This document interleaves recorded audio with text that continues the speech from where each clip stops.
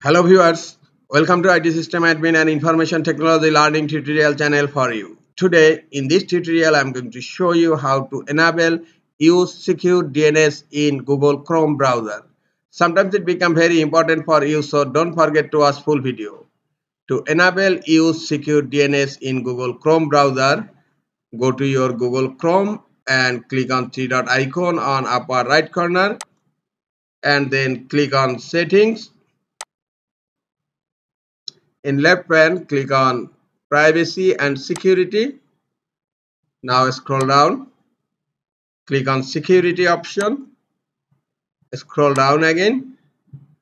Under advanced you will find use secure DNS and now it's turned off. Just click here to turn it on.